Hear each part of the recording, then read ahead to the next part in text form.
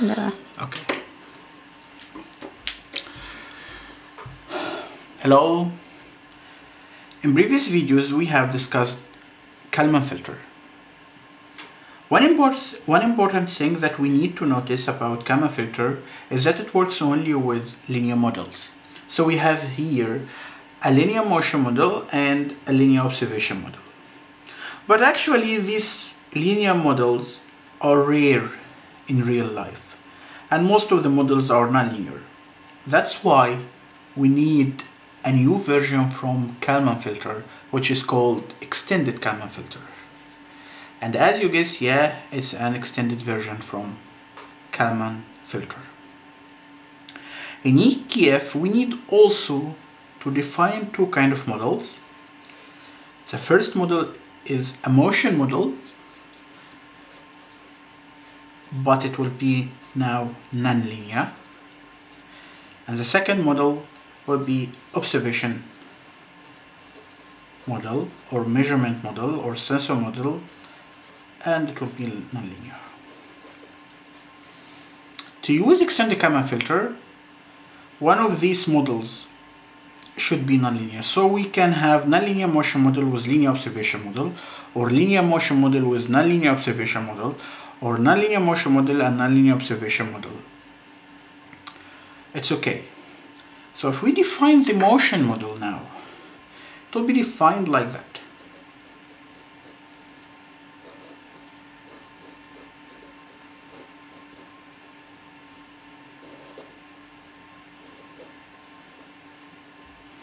So x at time step k plus 1 is some nonlinear function of x at time step k plus g times wk.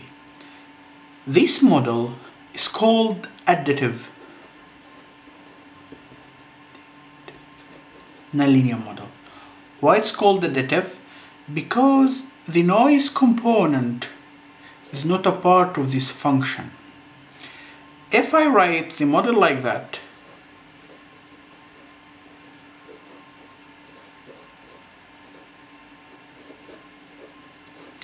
it will be called non-additive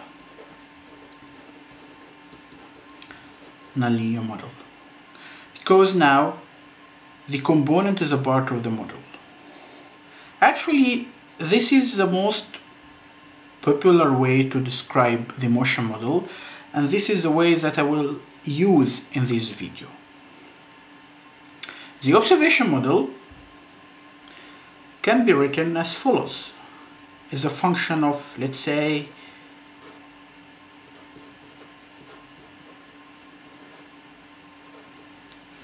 is a function, is a nonlinear function h of the state vector at time step k. Usually, the observation model is a kind of additive nonlinear model. So here, the measurement noise is not a part of this nonlinear observation function. As we stated before, these noises are white noises. It means that they are Gaussian distributed noises with mean equal to 0 and covariance matrix equal to q in the case of the process noise and the covariance matrix equal to r in the case of measurement noise. Now let's see how we will use EKF to estimate the state vector x or what is a pipeline of EKF. I'll put here a side because I will need both of those papers in the pipeline. So I will write here EKF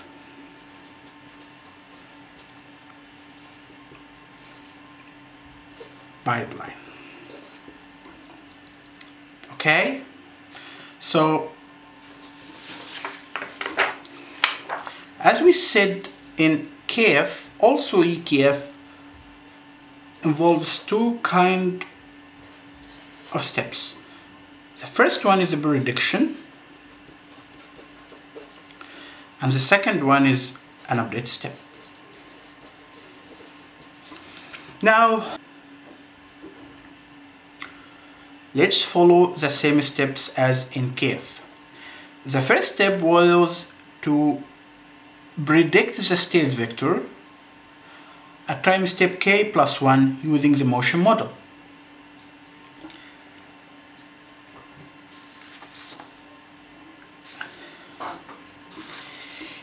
EKF, we have now nonlinear motion model.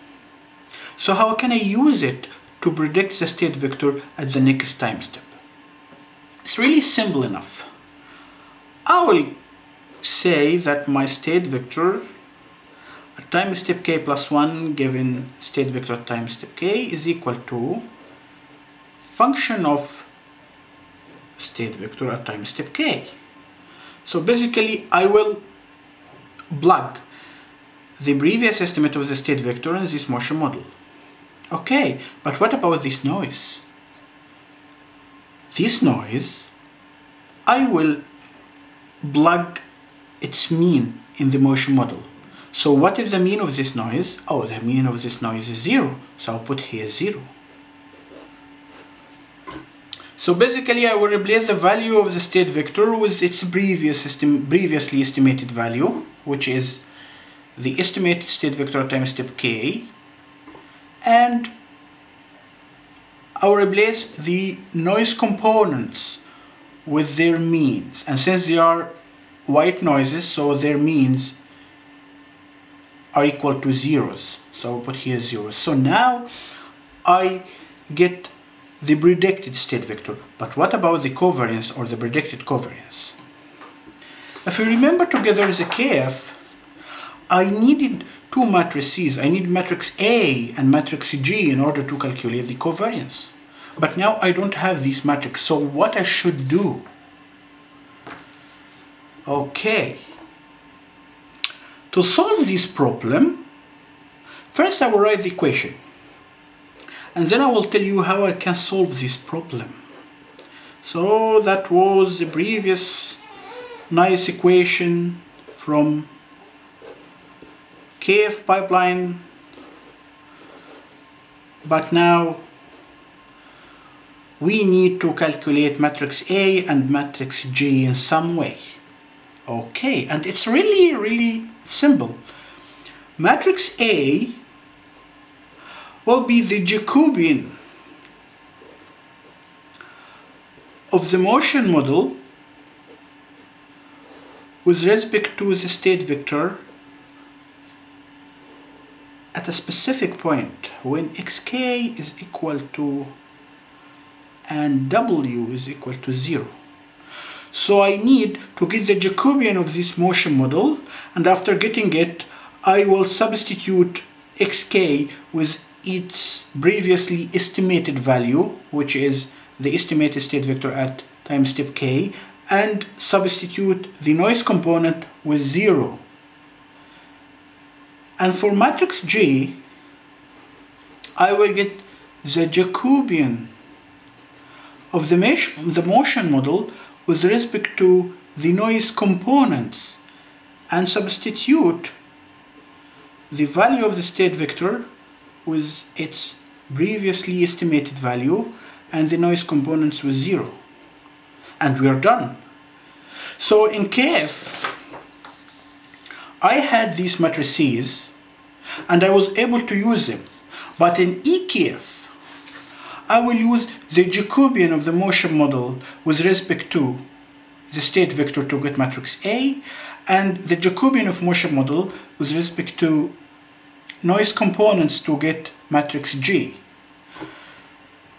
The theoretical reason behind that will be discussed in future videos. So in this video I just want to focus on the practical steps of EKF pipeline. Great. Now let's continue. What about the update step? Okay. The update step of the EKF will be as kf. So let's write it. Kalman gain is calculated according to this formula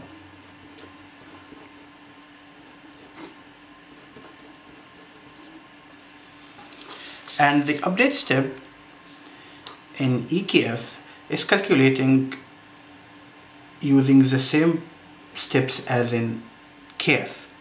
So for the Kalman gain, Kalman gain can be calculated using this formula. The update step in EKF is the same as update step in KF pipeline. I need the predicted covariance matrix from previous step, some matrix H, which we called it measurement matrix in KF, and measurement noise covariance matrix R.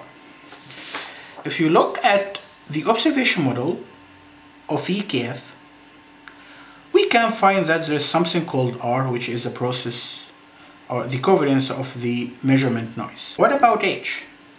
H is the Jacobian of the observation model with respect to the state vector at the previously estimated point.